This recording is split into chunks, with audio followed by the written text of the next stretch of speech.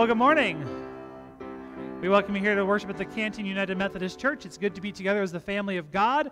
And I uh, just want to invite us into worship this morning. Uh, we're going to be lighting this Christ candle as a reminder of the light of Christ that shines in and through our lives as we explore um, our understanding of who Jesus is uh, for us and to us and to others. Um, back when I was in college at the University of Sioux Falls, I had an experience that uh, came to my mind this morning, and I got permission from my friend Mariah to share the story. But we were in a class called Jesus and the Gospels. And Mariah and I had, like, have you ever been a, a part of a space where there aren't assigned seats, but there are assigned seats? Yeah. So one day, my friend Mariah sat in the spot of our friend Lindsay, not my wife Lindsay, but a different friend named Lindsay. And Lindsay did not necessarily appreciate uh, the change in the unofficial seating chart of Jesus in the Gospels. And so she asked Mariah to move. That's my spot. You need to move. And Mariah said, uh, No, I don't. I'm not going to move. And Lindsay responded with the question that I think Oh, I think back to oh so often. Do you know who I am?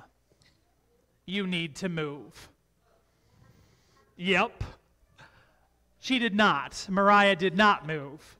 And Lindsay had to find a different spot for the day. But that question has been looming in the back of my head because today we're going to be talking about Jesus asking the disciples a similar but very, very different question. Jesus looks at the disciples and says, Who do the crowd say that I am? And after they answer, Jesus says, But who do you say that I am? Do you know who I am? Not in the Lindsay sense of the word, but do you know who I am? Do you know who Jesus is? And why does that matter?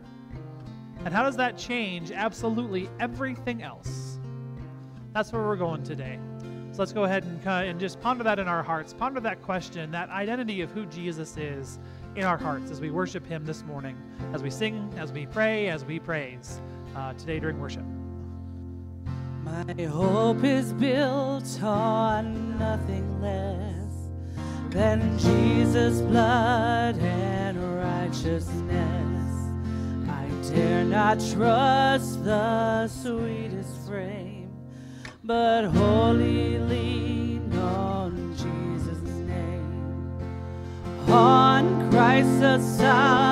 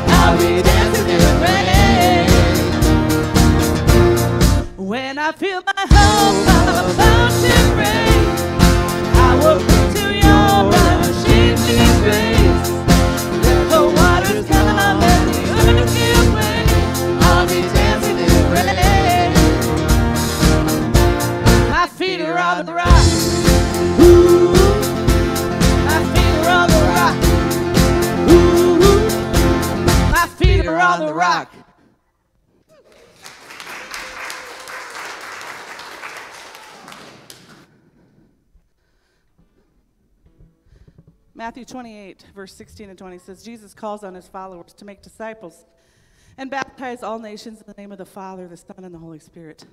If you were a believer, you were called to pass on what you know about Jesus Christ. Psalm 107 2 says, Let the redeemed of the Lord tell their story.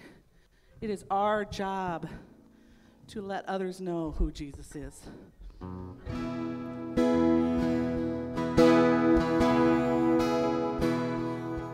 Are you past the point of weary? Is your burden weighing heavy? Is it all too much to carry? Let me tell you about my Jesus. Do you feel that empty feeling? Stained and all it's stealing? Are you desperate for some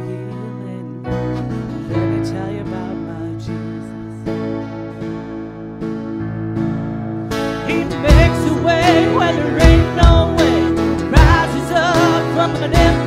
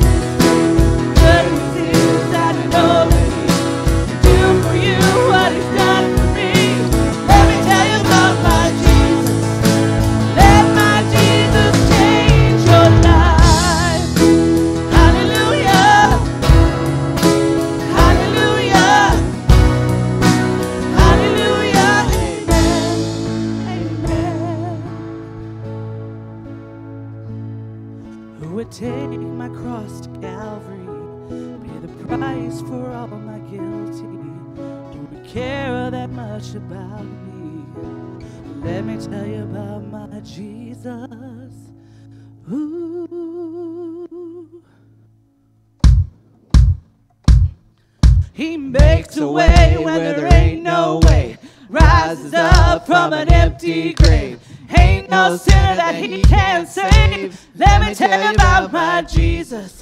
His love is strong and his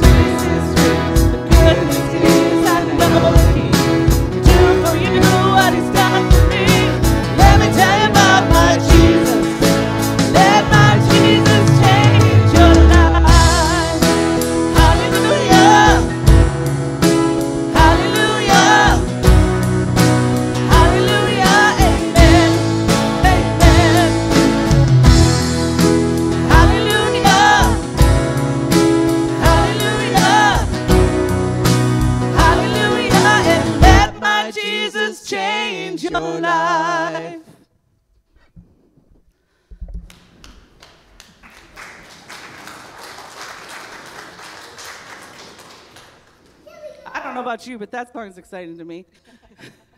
I don't know if we're tired this morning or what, but that's one of those songs where I can't stop wanting to move, and, and, and, and maybe it's just a message that we need to do more of that, because how many of you talk about Jesus to somebody on the street or every day of your life? I know I don't. I'm not raising my hand because I do, but I try. But we need to do better, right? We need to do better. I'm just thankful that there's people out there writing songs like that that are that are inspiring others to do that. So let's pray together this morning. Oh God, you call us to follow Jesus Christ as his disciples. We meet this morning to learn more about him, who he is, and how to do what Jesus asks. Help us as we worship to again understand who Jesus was and is. May we learn from the faithful witness just what true discipleship looks like. Let's stand up as we sing this song together.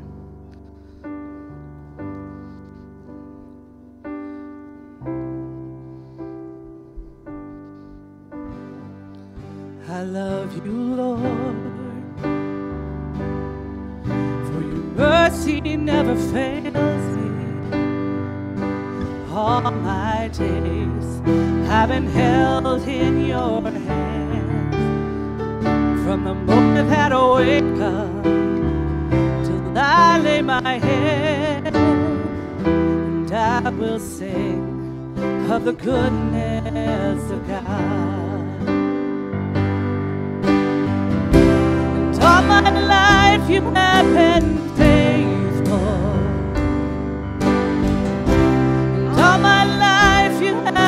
so, so good. With every breath that I am able, and I will sing of the goodness of God.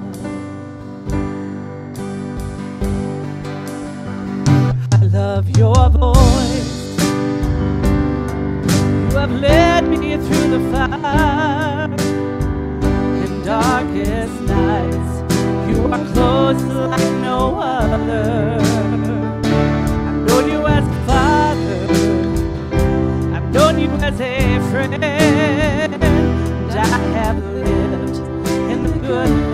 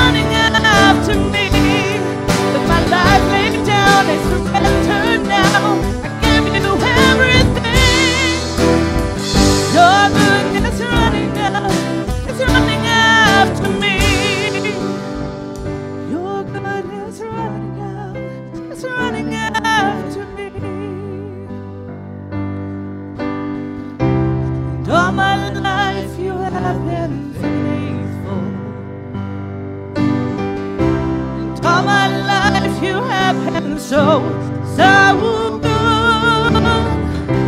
With every breath that I am able, and I will sing of the goodness of God. I will sing of the goodness of God.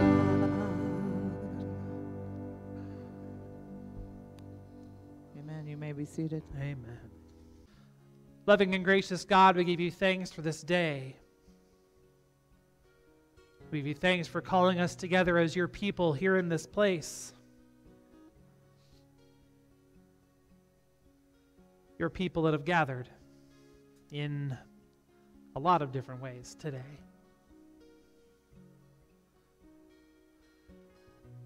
God, we give you thanks for the gift of your mercies, which are new every morning.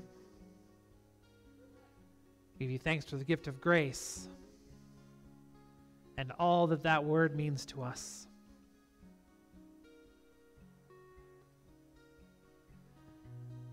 And we give you thanks for the ways that you have opened up so that we can know who you are. You've given us the living word, your son Jesus. And you've given us living words through your scriptures. You've given us afternoon coffee.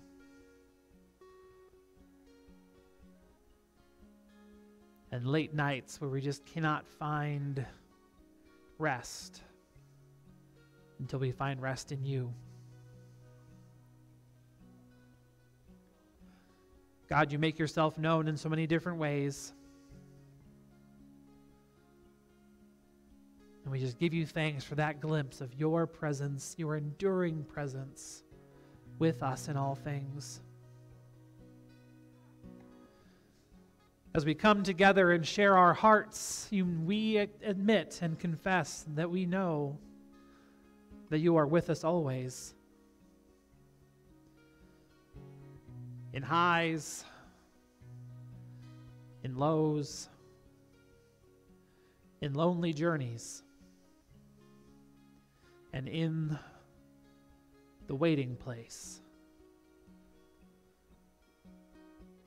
God, you've heard our hearts today as we've shared the joy of class reunions and birthdays,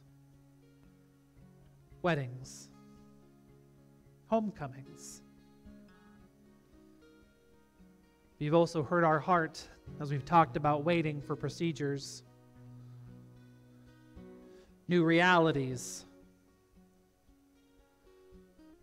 and mourning.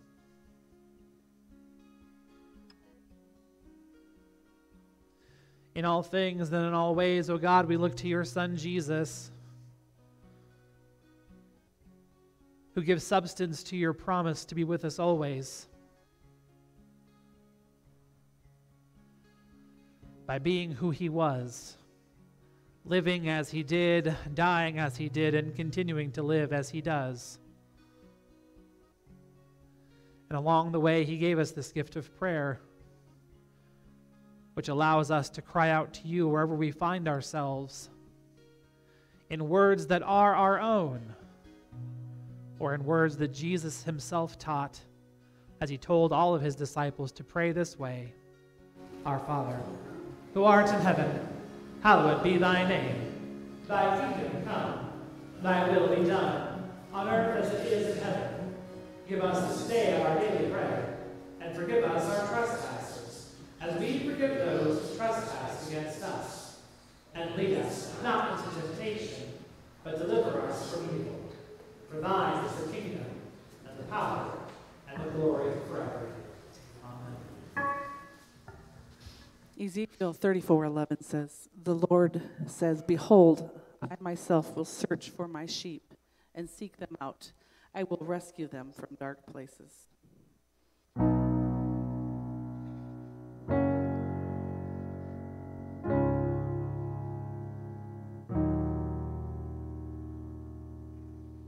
You are not hidden. There's never been a moment you were forgotten. You are not hopeless. Have been broken, your innocence stolen. I hear you whisper underneath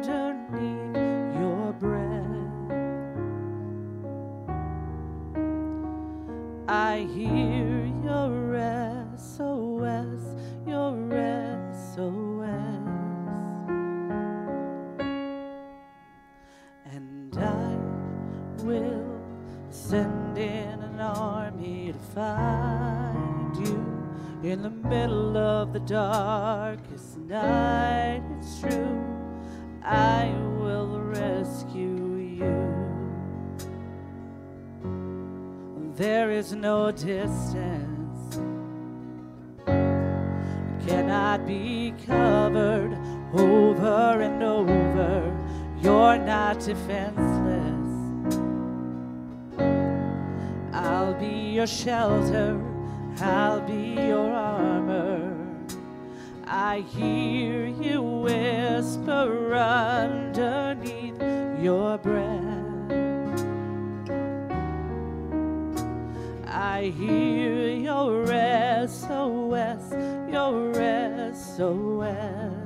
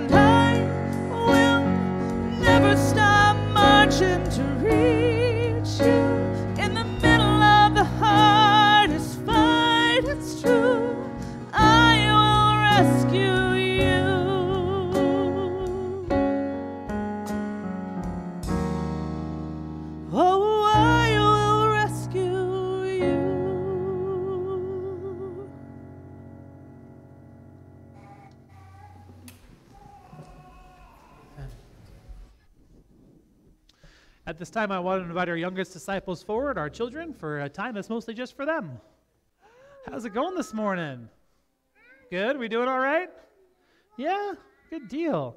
Simon, sit down, please. I want you all to turn over to that screen. I've got a little bit of a game for us to play today. Uh, Scott, can you throw that next slide up? This game is called Who Is This? So, what's going to happen is I'm going to put the pictures of several people up on the screen, and I want you to tell me who they are. All right? Can we do that together? And maybe if we get really stuck, the big kids can help us too, right? Think we can ask them for help? Yeah? Okay. So let's put the next picture up. Who's that guy? Aaron Rodgers. Uh, I am not a Packers fan, by the way, and I'm the one that picked the pictures. All right, what is this next person? The Rock, yes. Dwayne Johnson, right? Yeah. How about the next guy? Luca, yeah, from Disney's movie Luca, right? What's special about Luca? That's your favorite? That's news. Yeah. What's special about Luca? Yeah, out of the water he's a person, and in the water he's a fish. Okay, who's the next person? Who's Gru? Who's he from? Despicable Me and the Minions? Yes, that's Gru. Who is this next person? Yeah, that's Jesus, right? Yeah. So, is it really important? Yeah, that's my favorite too. It's really important. Does is it really important to know who the rest of those people were? Is it really important to know who Dwayne who Dwayne Johnson is? Is it really important to know who Luca is? Is it really important to know who Jesus is? Yeah, that's kind of why we're here, right? Yeah, we're here to learn about who Jesus is, and we do that through his word.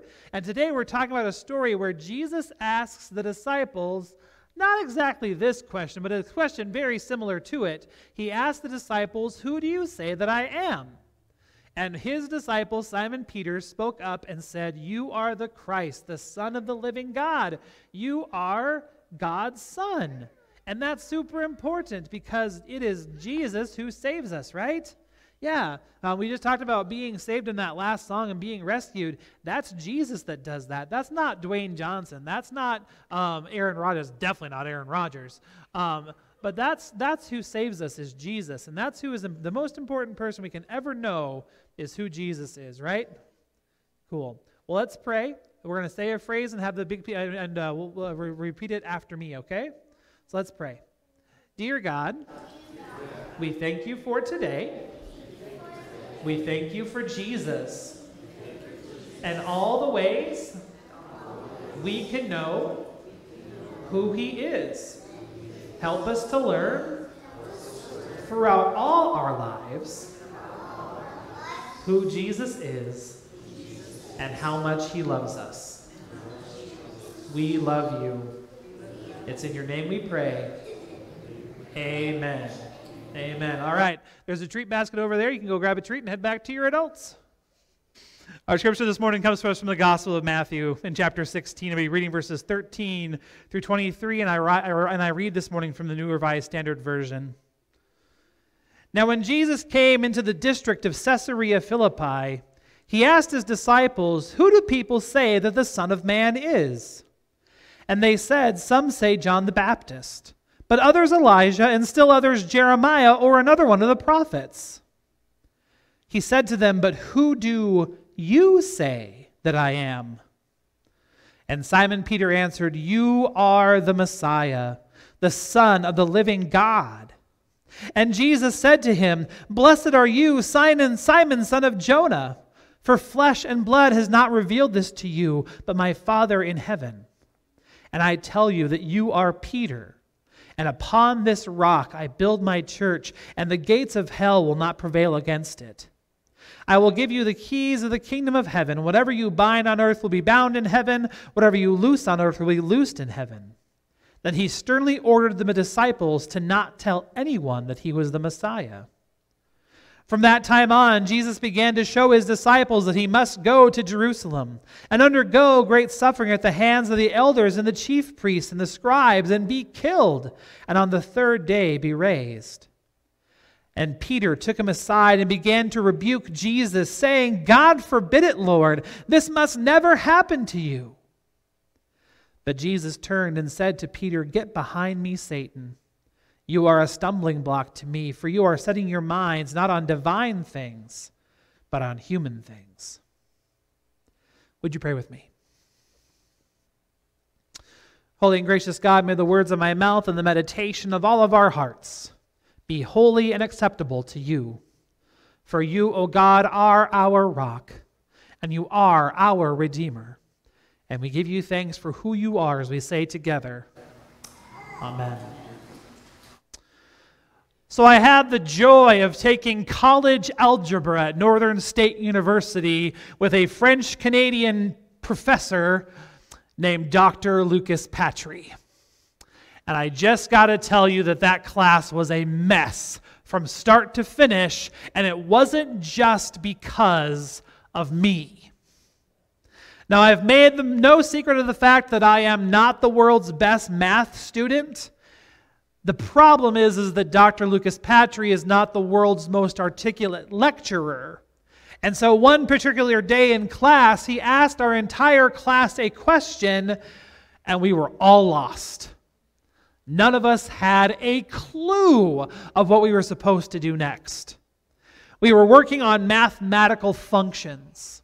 And during the course, Dr. Patry wrote a problem on the board and did one step and then stopped and said, What do you do next? We all sat there in a very awkward silence until someone finally had the courage to say, Dr. Patry, we have no idea what to do next. So he looked at us with this look of absolute disbelief. So he did another step, asked the same question, and still we just sat there.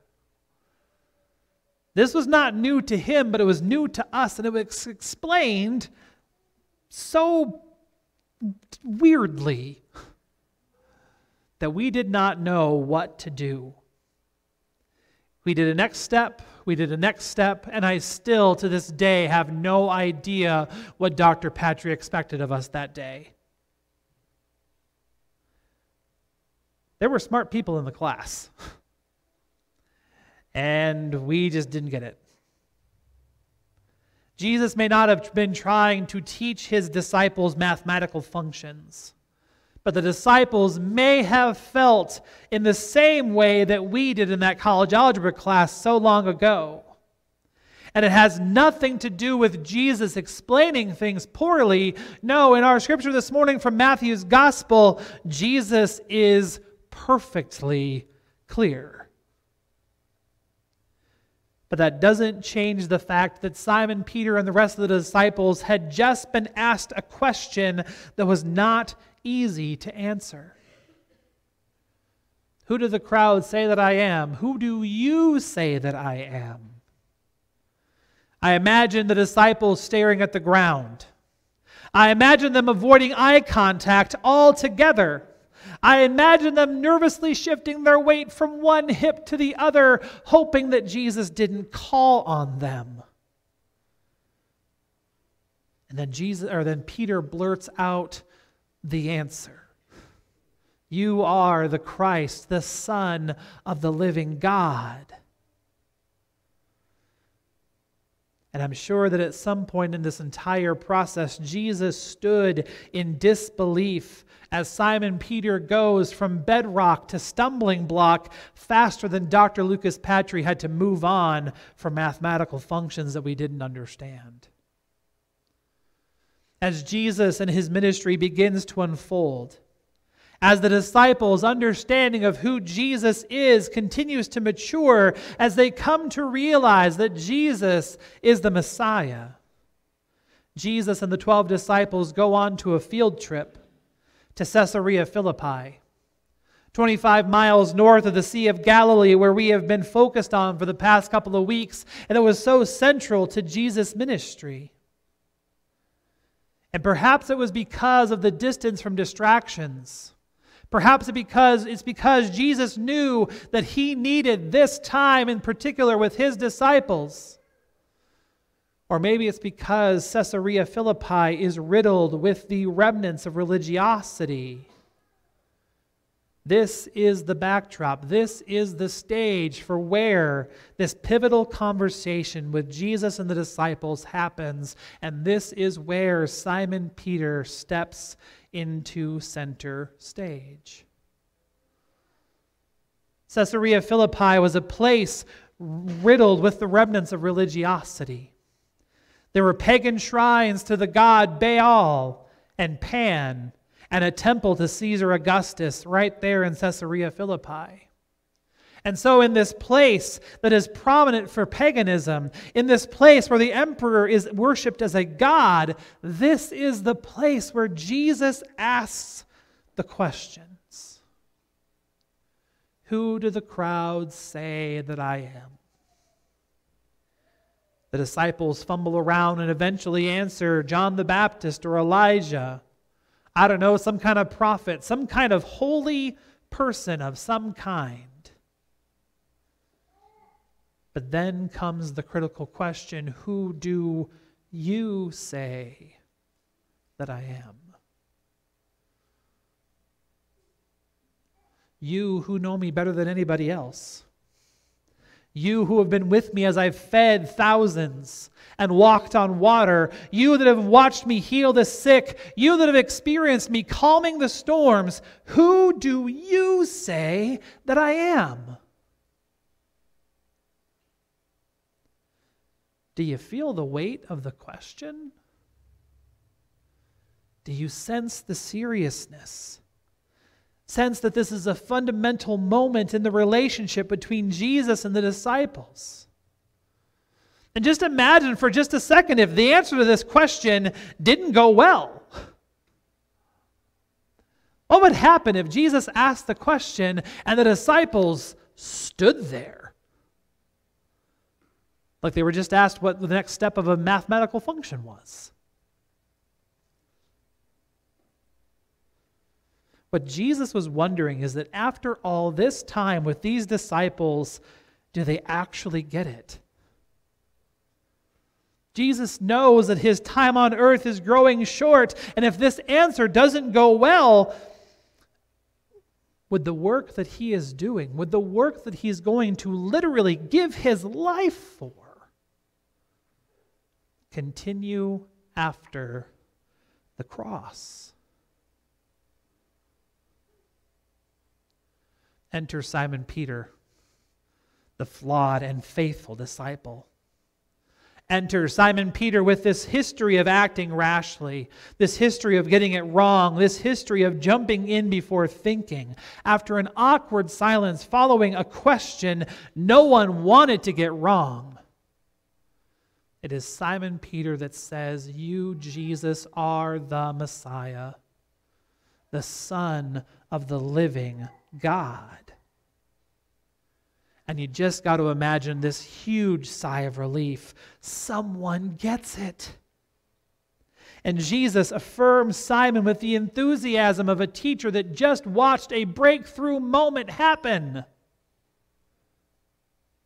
As they are standing in the remnants of these mythical and superstitious figures etched in stone, Peter calls Jesus who he is the Son of the living God. The living God. And that's an important statement because Peter realizes that Jesus is different. Peter realizes that Jesus is set apart from all other gods that could be worshiped because Jesus is living and active. Jesus is involved in the affairs of the world and working in and through the lives of all his disciples to bring about the healing and transformation of the world, to bring about the kingdom of God. Jesus is working through all of his disciples. That means all of his disciples to this very day. You and me. Jesus is the Messiah for us, the one for whom Israel is waiting. Jesus is not the one who ushers in the last days. Jesus is the one who will stand on the last day. And Peter knows it. And the rest of the disciples know it. And now would that all the world come to know it. And Jesus says, Simon, you are the rock upon whom this church is built. Which has to be just, just a tremendous affirmation. Jesus affirms Simon Peter's faith, but even more than that, Jesus establishes his authority. Because Simon Peter is the rock upon whom the church is built. He's not the founder of the church, that's God. But Peter is the first person on earth to realize and to articulate who Jesus is. He is the first one to take that step of faith and realize that Jesus is the Son of the living God. He's the first member of the church. The whole church is built on him, and in the ages to come, everyone who would make this same discovery would become a part of a stack of rocks that was based on Simon Peter. The scary thing is, though, that it almost all completely falls apart by, because of what happens next. Jesus sees the faith of his friends and decides to bring them in on what's going to happen and starts to tell them that the Son of Man, that he, Jesus, must go to Jerusalem, must endure these things, must die on the cross. And the foundation of the church is rocked. Rather than fumbling and stumbling to find an answer, Simon Peter knows exactly what to say when Jesus says this, and Simon Peter says, Uh, no. That will not be happening, thank you very much. And by the way, he's not responding in a way that's not unfair. This is what you're supposed to do when your friend says he's about to suffer and die, right? But Jesus knows that this is what must be. And Jesus knows that he cannot let Simon Peter tempt him to avoid what must come to pass. And so Jesus calls Simon Peter a different kind of rock, a stumbling block. All of this opens up space for you and I to ask this question.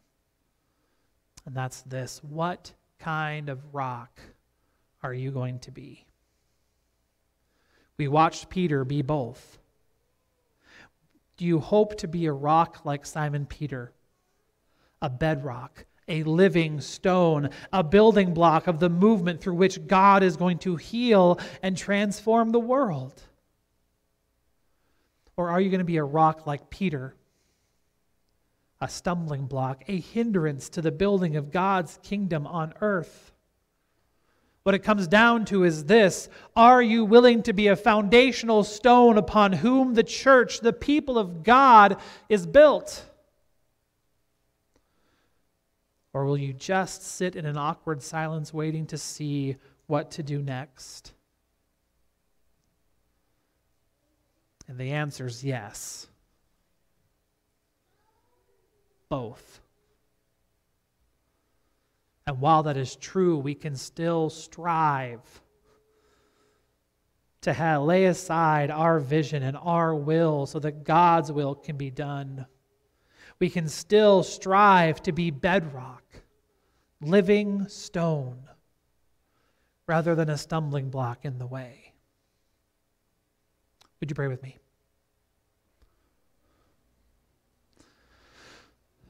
Living and reigning Christ, we give you thanks for who you are and who you've made us to be, with everything that that comes with. We thank you for those moments in which we get it right and we can stand in faith with a confidence that comes from you. And we give you thanks for those moments when we get it wrong and you correct us and we grow because we know you are with us in all things, both as we are bedrock and stumbling block. You work because of us and you work in spite of us. And we just give you thanks for the opportunity to be a part of it in the first place. Help us to cling to you in faith and always know what to do next in your name. Amen.